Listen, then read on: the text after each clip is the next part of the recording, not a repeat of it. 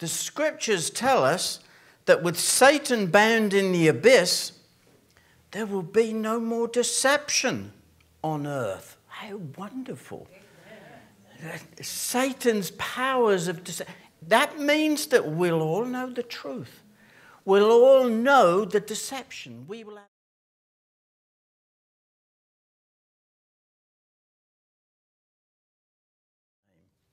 So, welcome everybody. We are study 20 in our study through the book of Revelation, and we're up to Revelation chapter 20, and the title I've given to this particular study is The Judgment of Satan. The Judgment of Satan.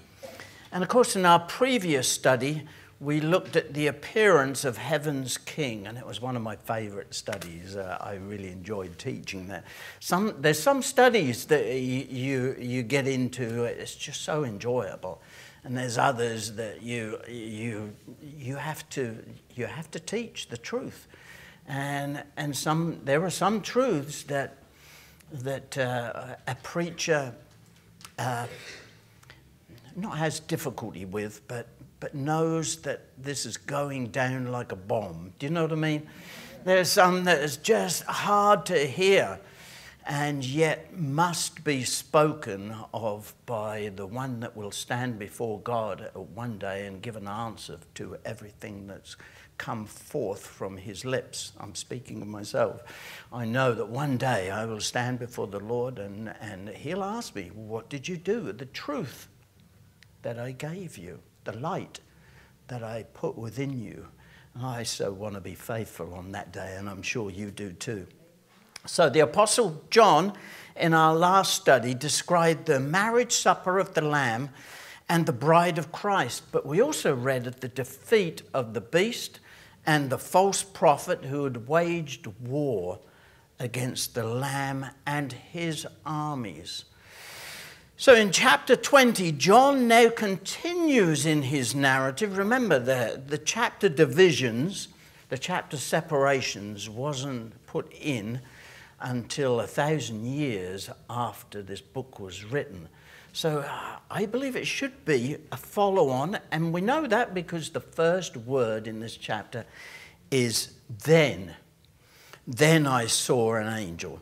So in this study, we'll see four significant themes in this chapter as John describes what he sees. He's writing down what the Lord gives him and he's writing what he's seeing. So we will also, in this study, we'll also look at what the prophet Isaiah had to say about the rule and reign of the Messiah, the Lord Jesus. And uh, that part will be what will the millennium be like? So let's, let's look first of all at the five categories the binding and removal of Satan, first of all, the reign of the saints with Christ in his kingdom on earth, number two. Then, number three, what will the millennium be like? Big question, right? And then, number four, the release of Satan for a short while on earth and then number five, the great white throne judgment. So God willing, will uh, will clarify on these, these topics. So number one, the binding and removal of Satan. Verse 1, are you with me? Revelation 20, verse 1.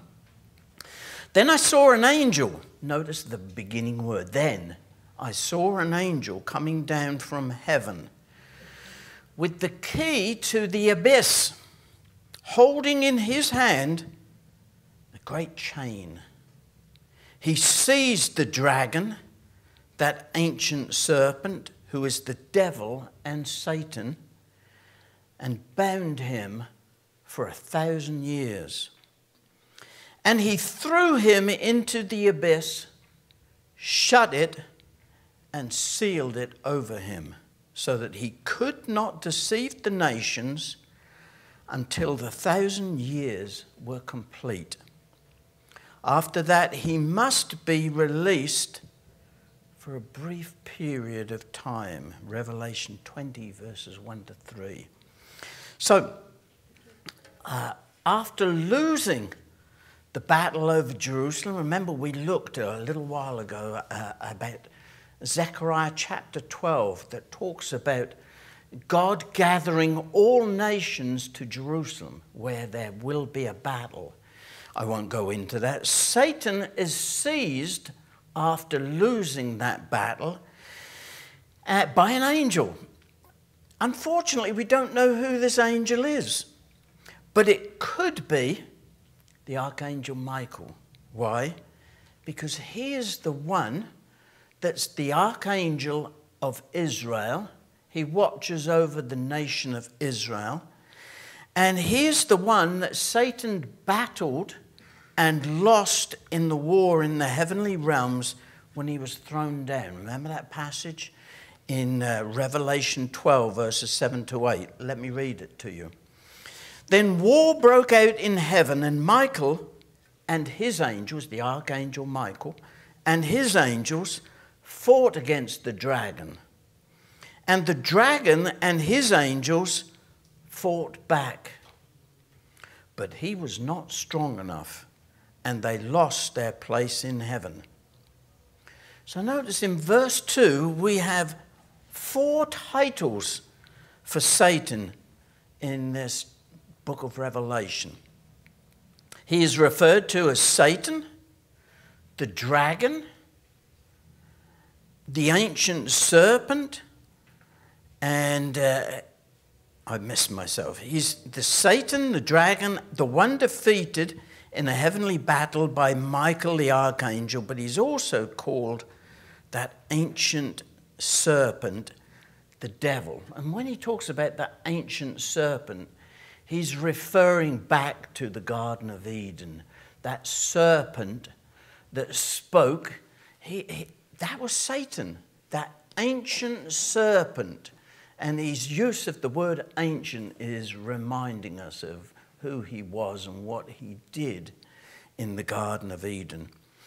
Whomever the angel is, he has a key as well as a great chain with which to bind Satan and throws him into the abyss. Now, the original Greek word, abusos, means a deep hole in the deepest part of the earth. This Greek word is also translated in Revelation 9:2 as the bottomless pit. Imagine there is no bottom, there is no stand, there is no, nothing he can put his feet on. It is a bottomless pit and in complete darkness, I believe. Satan is chained and locked in the deepest part of hell for 1,000 years, Revelation 20, verse 7. The purpose of this arrest and incarceration is not his final judgment and his punishment. That is to come later, the scripture tells us. At this point, before the thousand years starts, he is bound so that he can no longer deceive the nations until the thousand years are ended. So it leaves us a question. If we see Satan bound and thrown into a bottomless pit, where is he now? You know, a lot of people believe that uh, Satan occupies a place called hell, but that is not according to the scriptures.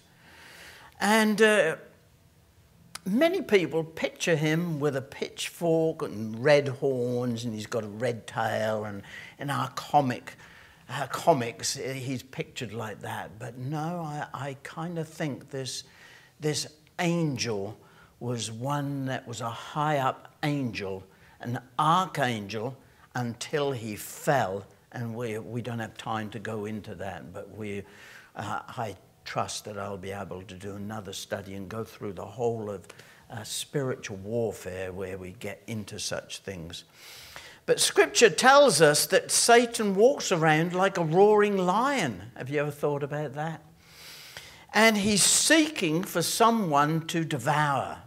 He wants to eat us up, so to speak, not in a fleshly sense, of course, but he, he feeds on our fears, our horrors, our sins, These are all things that he feeds on. He's looking for someone to devour. 1 Peter 5, verse 8.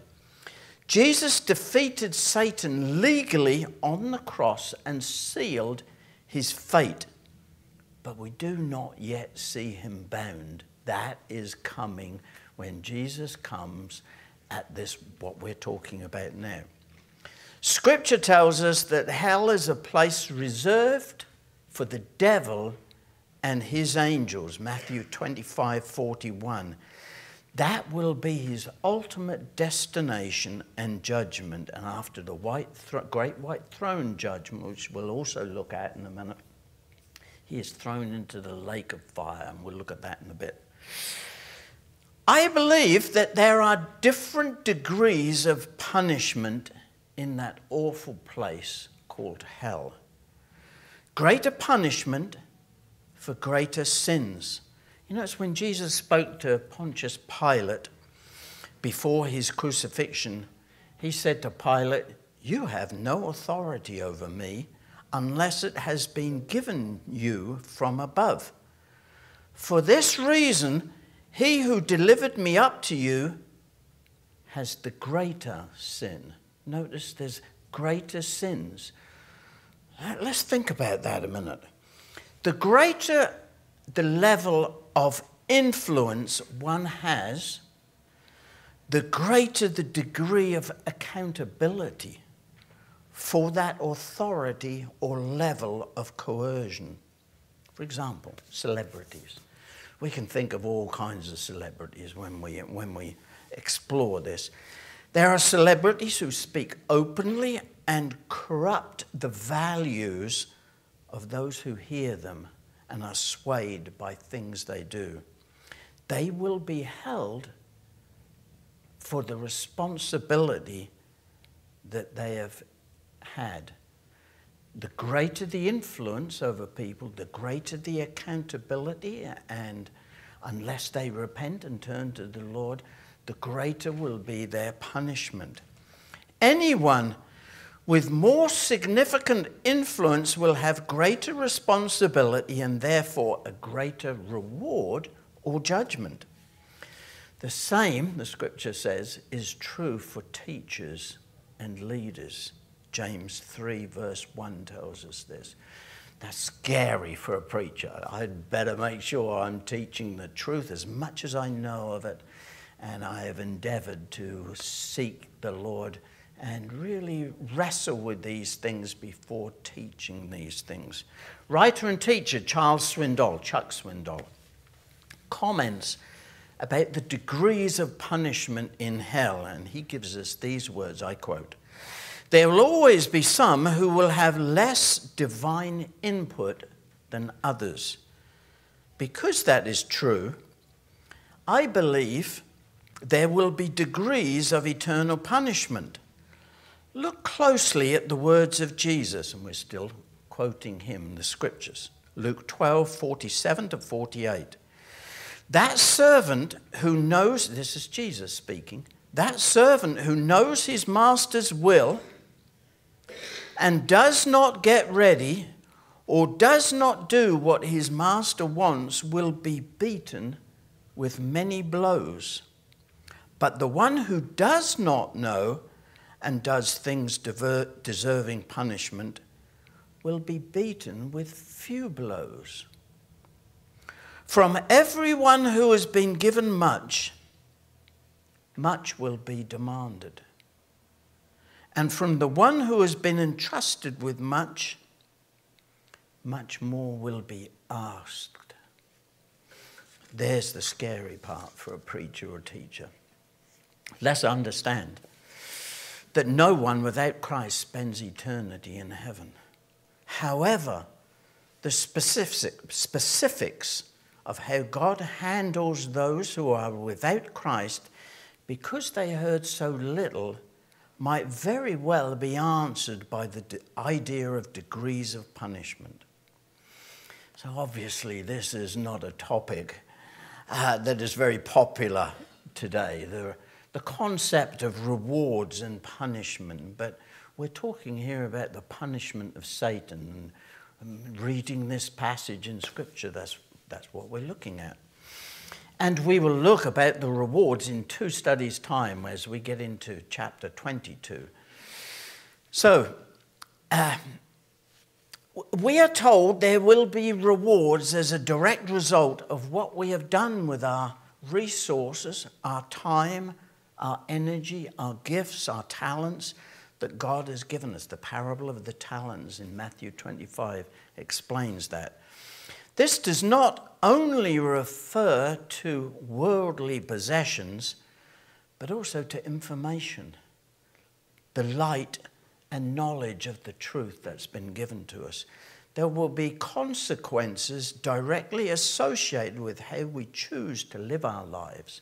What we're talking about is the enemy, Satan, knows everything, yet he has decided deliberately to go about his work of destroying lives. And there are others who serve him that will be held to account because of the amount of light that they've received, the amount of understanding of the way this world is set up. And they choose, they deliberately choose to go Satan's way rather than God's way.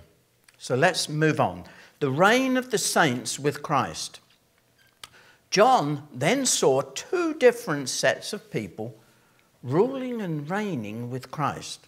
Let's read it, verse 4. Then I saw the thrones and those seated on them had been given authority to judge. There's that word and, which tells us there's two. And I saw the souls of those who had been beheaded for their testimony of Jesus and for the word of God. And those who had not worshipped the beast or its image and, have not, and had not received its mark on their foreheads or hands. And they came to life and reigned with Christ for a thousand years.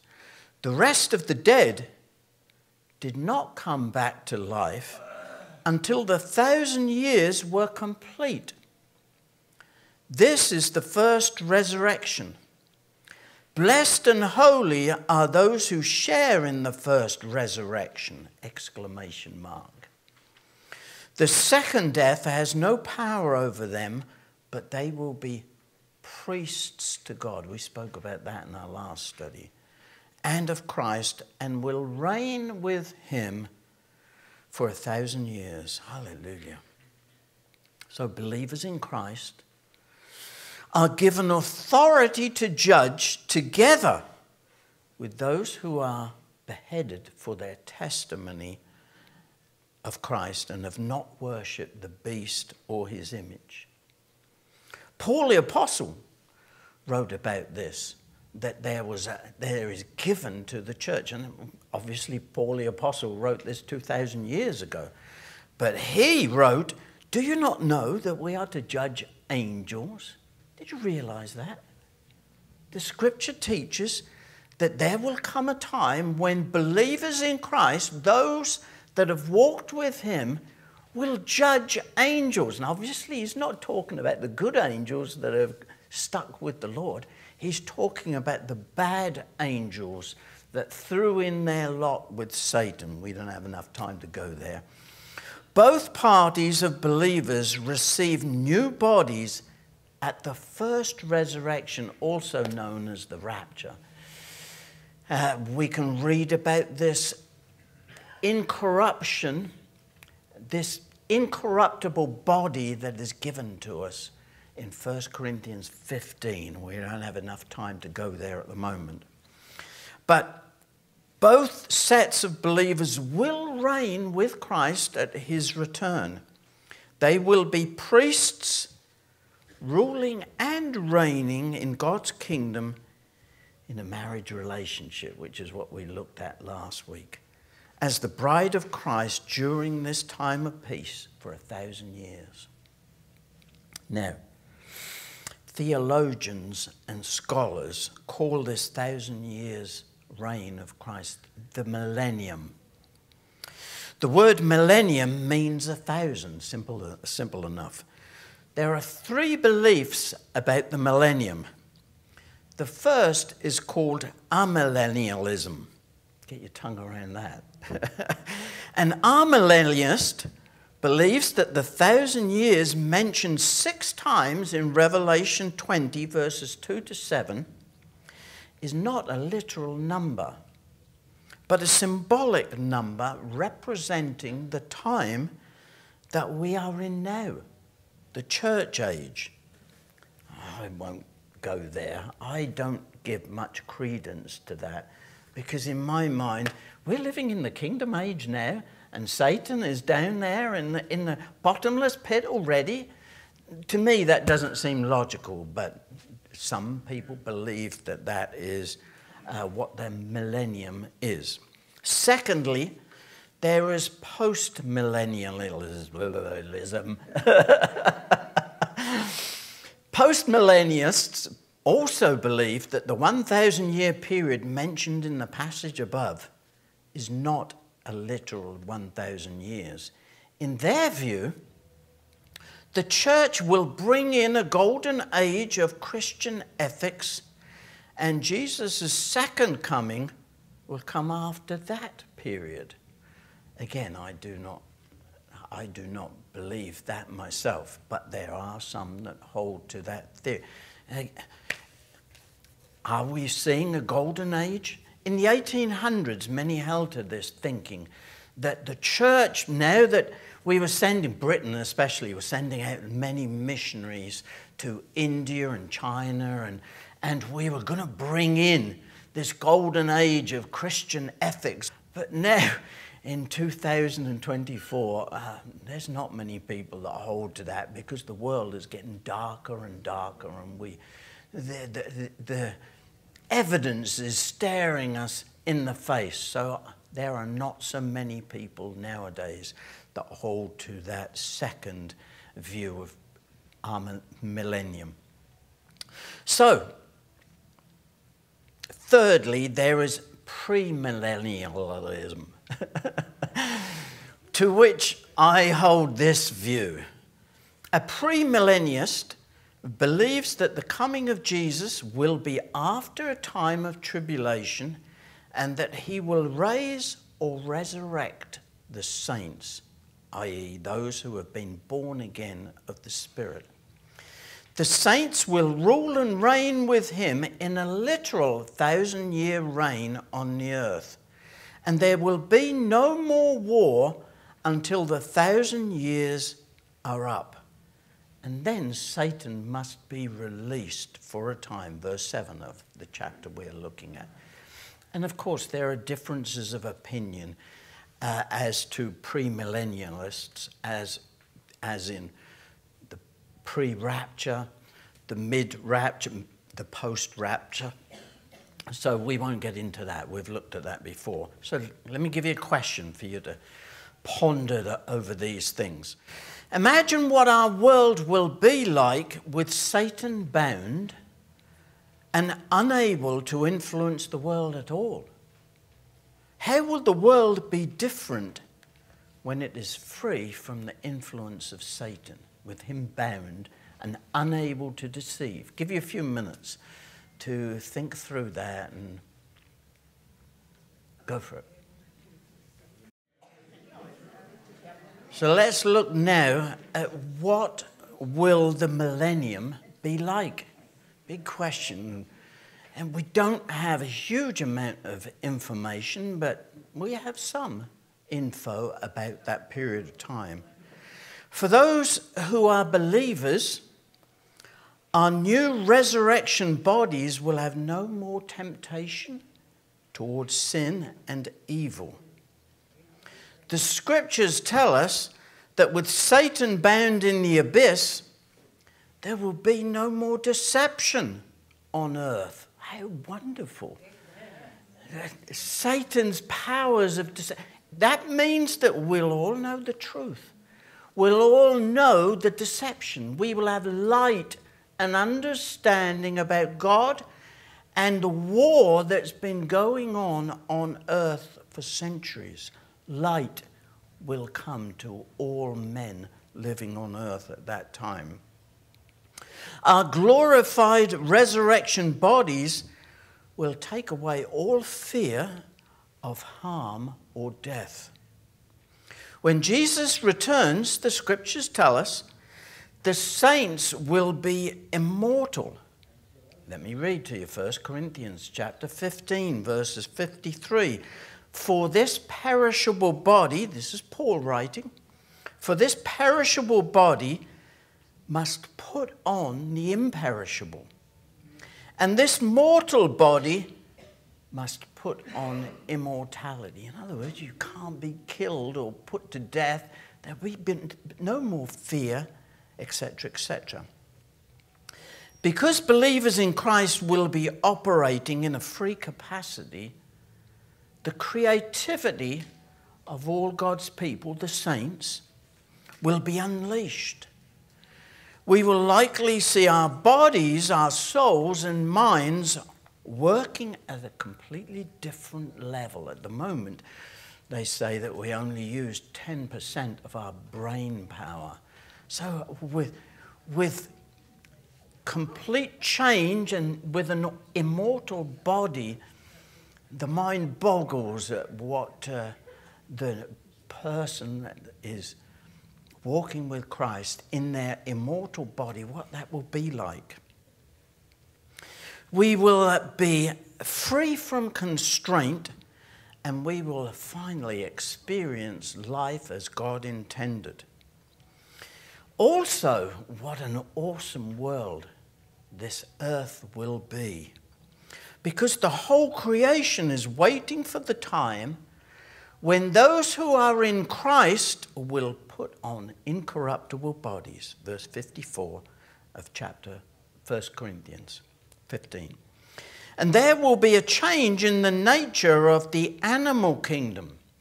Paul also writes elsewhere in the book of Romans these words, verse 19 of Romans 8. The creation, what does he mean by the creation? The creation waits in eager expectation for the sons of God. He's talking about sons and daughters, of course, those walking with Christ, the sons of God to be revealed. For the creation was subjected to frustration, not by its own choice, but by the will of the one who subjected it, in hope that the creation itself will be liberated from its bondage to decay and brought into the glorious freedom of the children of God.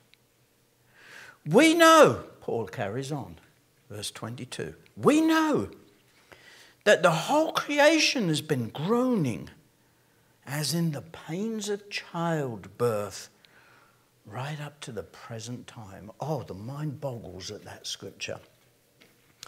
When Paul wrote that, those words to the Romans, I, I wonder what was on his mind. I believe that he was referring to the animal kingdom, the creation, the birds, the animals, etc., which is so fearful of humankind at present. It is sad, isn't it, that animals, as soon as they see a human, they run in the opposite direction. Of course, some animals don't.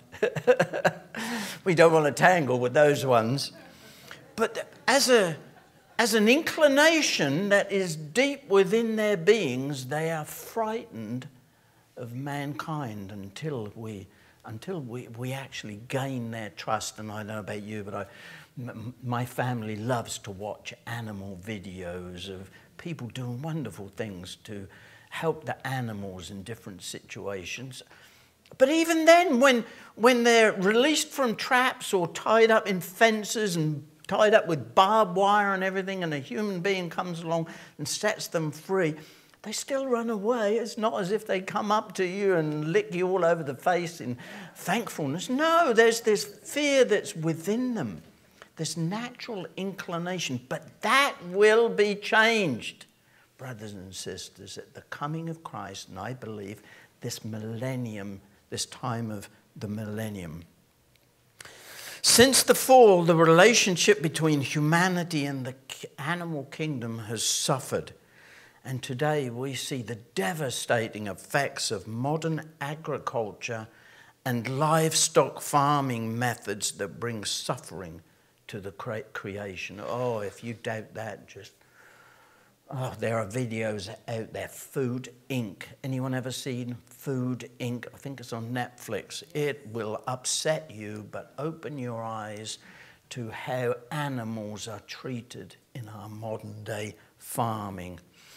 This treatment of the animal kingdom is not what God intended, and animals are suffering and longing to be released from this inhumanity that we have towards the animals. The inner longing and groaning of all the animal kingdom are for the change of their nature of fear toward humanity and one another. When Jesus comes and the millennium begins, there will be significant changes to the animal and bird kingdom and all of God's creation. Oh, I would just love to stroke the mane of a lion or, or hold a bird in my hand and just stroke it. Uh, we, we all have that natural inclination to, like a, a fawn or or deer, I would love to go up and stroke them and just invite them into the house. Wouldn't that be cool? And some people do do that. Let me read to you what Isaiah chapter 11, I think, is talking about the millennium again, verses 1 to 10. Isaiah 11. Verse 1 A shoot, we'll, we'll come back to that in a minute. A shoot will come up from the stump of Jesse. Who was, who was Jesse? David's father, King David's father, was named Jesse. A shoot will come up from the stump of Jesse, from his roots, a branch. Notice is capitalized. You, you, know, you get who we're talking about. A branch will bear fruit. The Spirit of, the, of Yahweh, the Spirit of the Lord, will rest on him the spirit of wisdom and of understanding, the spirit of counsel and of power, the spirit of knowledge and of the fear of the Lord. And he will delight in the fear of Yahweh. He will not judge by what he sees with his eyes or decide by what he hears with his ears, but with righteousness. He will judge the needy with justice, he will give decisions for the poor of the earth.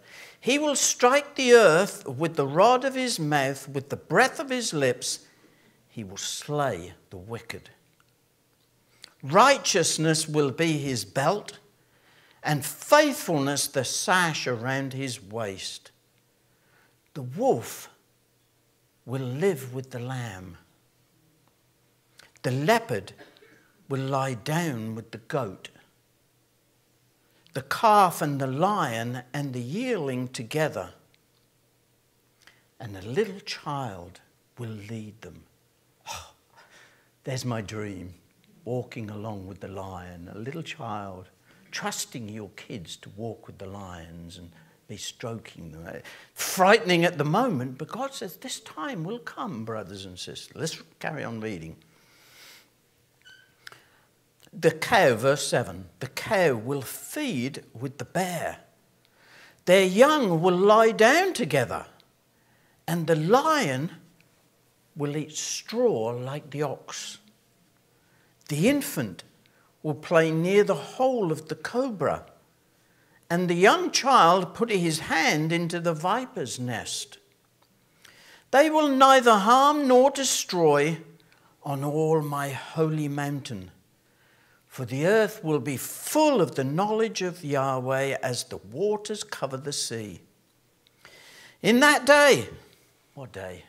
The day when the Lord Jesus sits upon his throne, I believe, that's talking about. In that day, the root of Jesse, obviously the Lord Jesus, will stand as a banner for the peoples and the nations, the Goyim, the Gentiles. The nations will rally to him and his place of rest will be glorious. Don't you want that? That rest of the Messiah, the Sabbath rest of the Messiah, the thousand year reign of the Lord Jesus Christ. Notice the changes that take place when Christ is on the throne. Animals that are opposites to one another will feed alongside one another. Verses 6 and 7 The wolf and the sheep will lie down with one another at night. Can you imagine that, watching that, seeing that? These animals that at the moment they fight and kill one another as, if, as, as much as they could. They will live in the same habitat. The lion, one of the most predatory animals on earth, will eat straw in the same way an ox does. Verse 7. Then there will be children reaching into the dens of adders and playing with venomous snakes. More than 600 years before Christ, when Isaiah's prophecy was spoken, ferocious animals were abundant in Israel. Not so anymore. Still, Isaiah prophesies a time when children will play with the animals and the earth will be at peace. Isaiah prophesied that because the knowledge of God will cover the earth, the Goyim, the Gentile nations, will place their trust in the Son of David. Remember, when he wrote this, there was such an animosity by the Jews towards the Gentiles. The two never came together, and, and the Spirit of God coming in the day of Pentecost changed all of that when Gentiles and Cornelius in Acts chapter 9 was brought into the kingdom of God, and the Spirit of God went to the Samaritans, the, the hated Samaritans. They couldn't believe it when they heard that the Samaritans had received the Spirit. And it boggled their mind when they heard that the Gentiles, Cornelius, the centurion, were all filled with the Spirit. Things were changing. Prophecy was being heard and answered. Yes, the earth will be covered with the knowledge of the Lord and it will be the seven Sabbath rest of a thousand years. God's presence and reign will accomplish this. So, notice who will inaugurate this time of change. It is not the church, as we said earlier. Some people believe it's the church that will Christianize the world. It's not the church that will inaugurate this thousand year reign of Christ, it is the Lord Himself. We are told that a shoot will come up from Jesse's line, King David's father, Isaiah 11:1. And a great king will come from the tribe of Judah and of David's descendants, one who will judge the earth. The Lord Jesus will not judge by what he sees or hears he will judge difficult situations because he knows all and has perfect judgment about all things. Christ will rule and reign in righteousness. He has come to earth and suffered the worst that humanity and injustice could throw at him and has completely overcome for each of us on our behalf, he went to the cross and said, I will go, Father. And he came and paid the substitutionary price of death for us and as us. The Lord is the one who has the power to speak and create with his words. With the breath of his lips, he will slay the wicked, verse 4. But who can endure the day of his coming? Malachi chapter 3, verse 2 says. Who can endure the day of his coming? Who can stand when he appears? For he will be like a refiner's fire or a launderer's soap. And as, my, as I shared last, uh, last uh, study, you know, before I came to Christ and I had that vision of the coming of Christ, oh, I was so terrified I, that I would be looking for a cave to hide myself. And thank God that He drew me with cords of love and, and brought me into his kingdom, not because of anything I've done that's good or anything, but because of what he has done. He is the substitutionary lamb slain before the foundation of the world, the scripture says.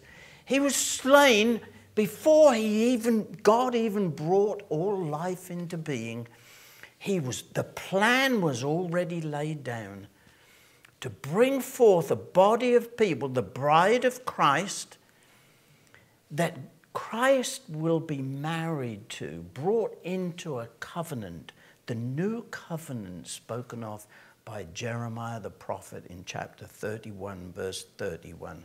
So let's have another question, give you a chance to think.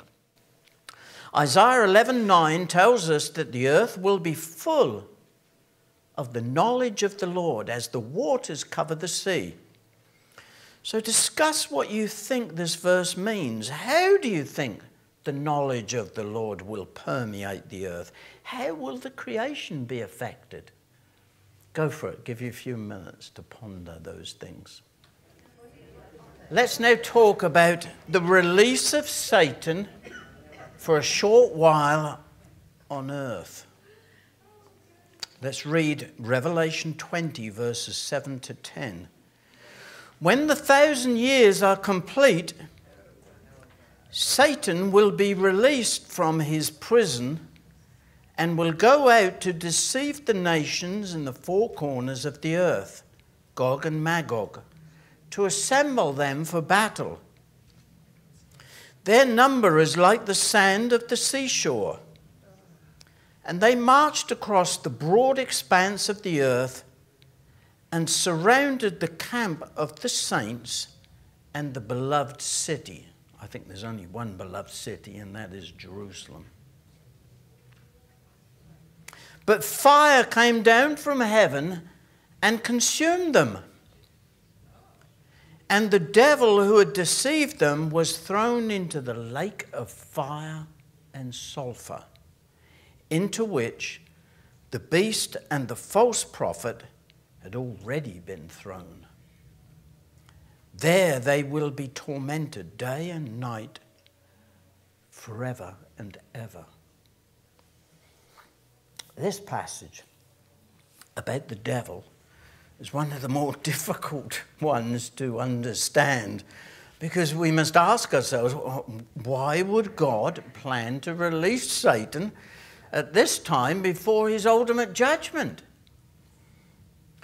To understand this question, we would, of course, have to know why God allowed Satan to have any influence over man at all.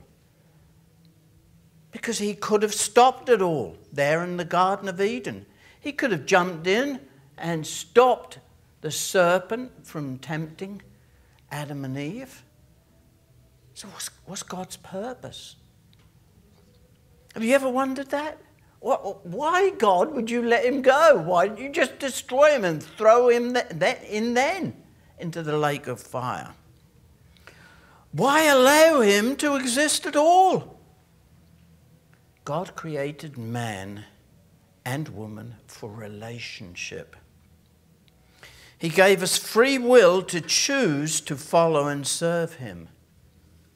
It is a choice that we all have whether we will love the Lord our God with all our heart, soul, and strength, or whether we will listen and obey ourselves.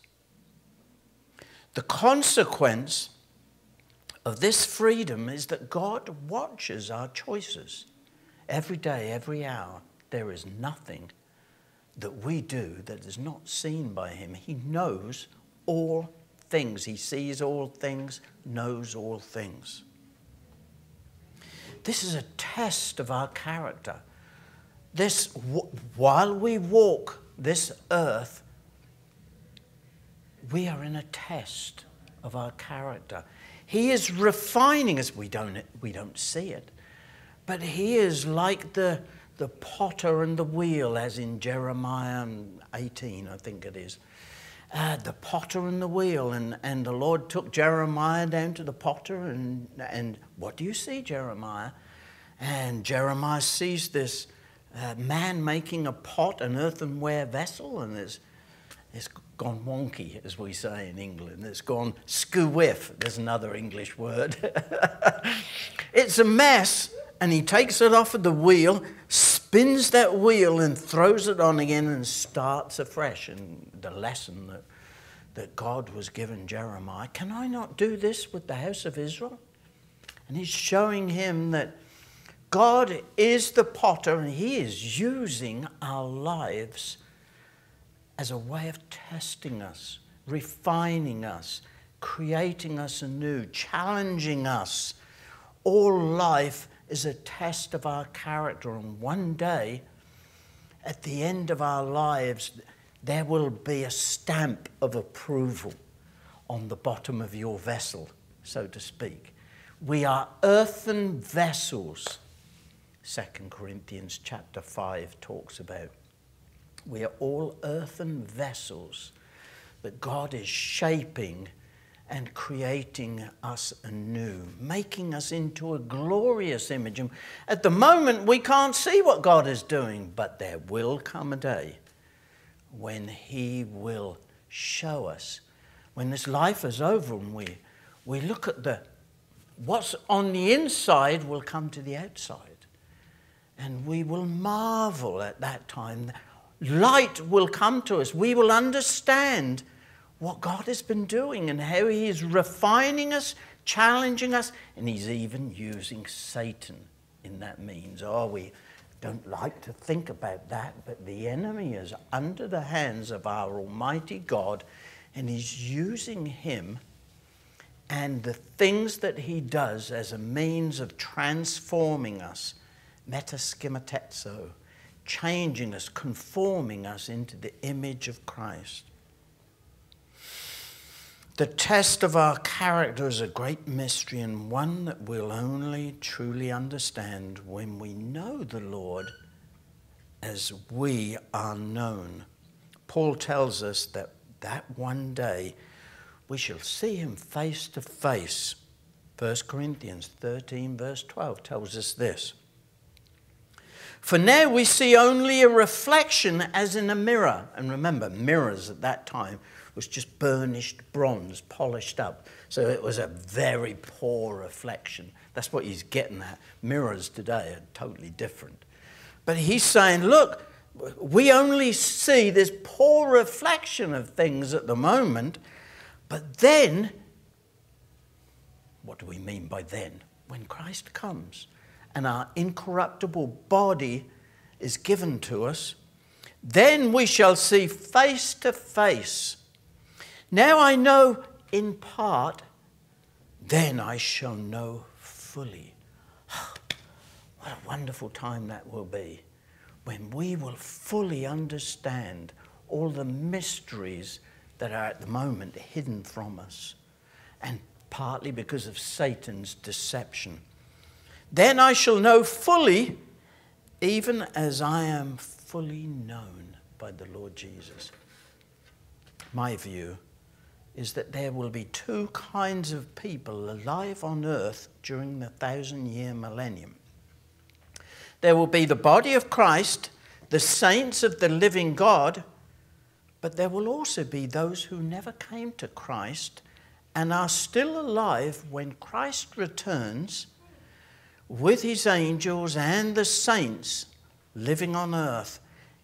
So, Satan will be released after the thousand years are up, and he will go forth to deceive the nations all over the world. If it is only the saints living on the earth, how can the saints be deceived in the new bodies? I don't think he's talking about the saints because those that are still living on earth will be deceived as Satan is let loose from his place in the abyss. It will not be the saints.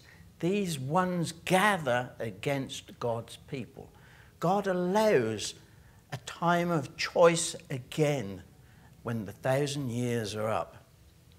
Furthermore, Isaiah prophesied a time when people would live to a great age, and I think it's talking about those that are not believers, that are not saints, that do not have a fully resurrected, incorruptible body, Let me read to you Isaiah 65, verse 20. Never again will there be in it an infant who lives but a few days, or an old man who does not live out his years. The one who dies at a hundred will be thought a mere child. The one who fails to reach a hundred will be considered accursed. In other words, he's saying that those who are not believers will live to great age, just like, just like Adam. He lived more than 800 years, and many in those, those days lived hundreds of years. I wonder whether it will become similar to that as, as mankind has changed. Some will not join in the Antichrist war at the last battle over Jerusalem. We're talking about Zechariah 14, uh, where it talks about the last battle will be over Jerusalem. They will still be left when the millennium begins. They will still be subject to death. Death and Hades are only destroyed at the end of the millennium. Verse 14 tells us that. We are told that when Satan is released for a short time, he will deceive those born during the thousand years and motivate them to make one last attack on the saints and the beloved city. There is only one beloved city, Jerusalem, the city of peace, the city that God has set apart for himself. Fire from God will come down upon those who attack the saints, and at this point, Satan will join the Antichrist and the false prophet in the lake of fire because the angel will grab a hold of him and throw him in the lake of fire, and they will be tormented day and night forever and ever. This great white throne judgment signals the end of all evil. So let's talk about that now. The great white throne judgment.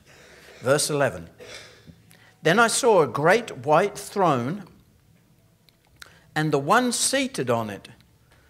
Earth and heaven fled from his presence, and no place was found for them.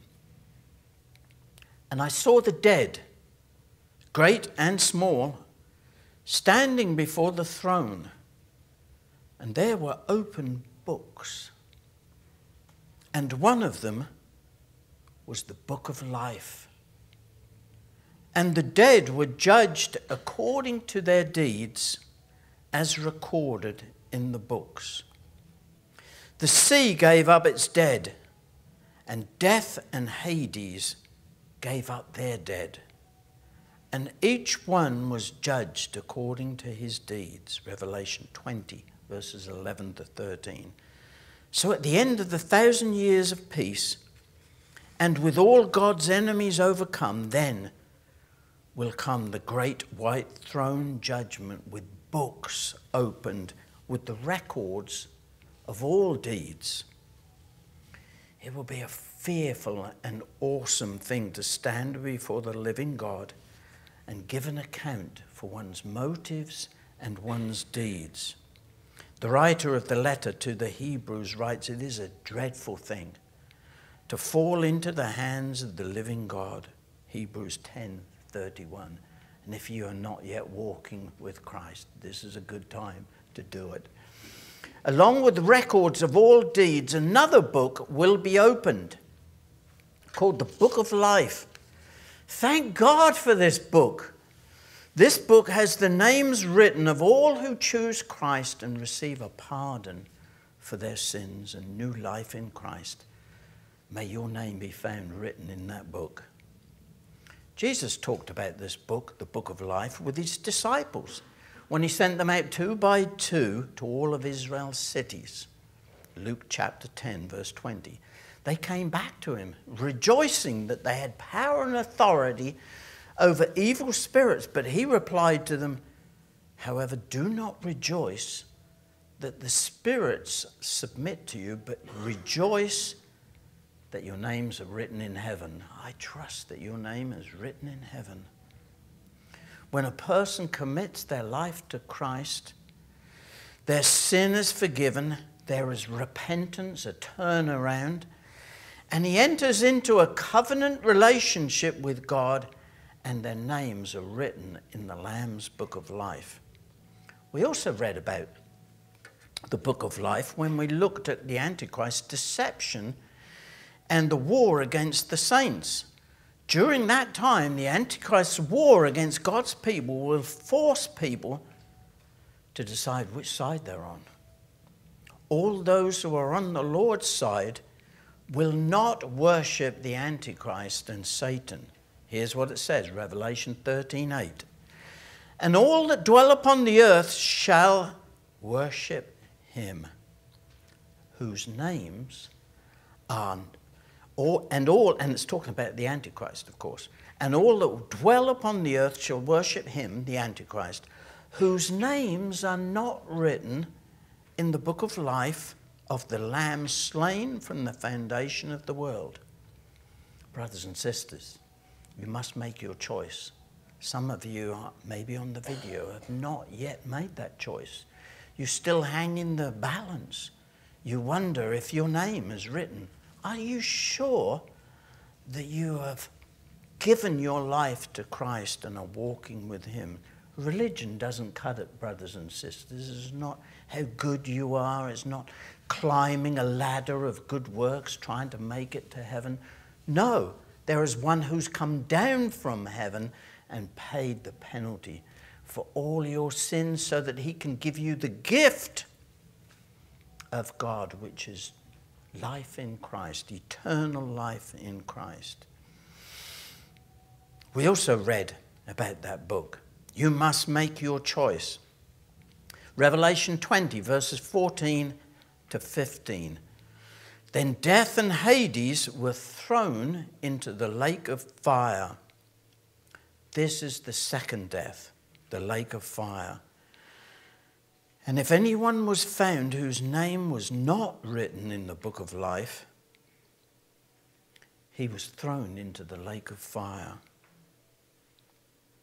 We are all faced with a choice, similar to Joshua 24. Whom will you choose? Who, who, who is, who do you walk with? When we choose Christ, we choose life eternal. It is a far cry from the world in which we live, this kingdom of heaven that we will one day see and walk in. I hope that you can allow yourself to dream about life as God intended. Brothers and sisters, this is not a fairy tale. These are eternal truths I present to you and I trust that you will choose life rather than death. We see longings of a better life in all the excellent fancy, fantasy tales of. We, there's always there's something within us tells us that there's something, something more. This life that we live is not all there is. There is something beyond death we call eternity, and I trust that you are heading the right way. Deep down, we know that we were created for a different life, something for what C.S. Lewis called our inconsolable longing. One day, God will answer our cries, our inner longings and everyone who calls on the name of the Lord and whose name is found in the book of life will find fulfillment in the life that God has prepared for those who love him. Before his crucifixion, Jesus said these words Do not let your heart be troubled. You believe in God, believe also in me.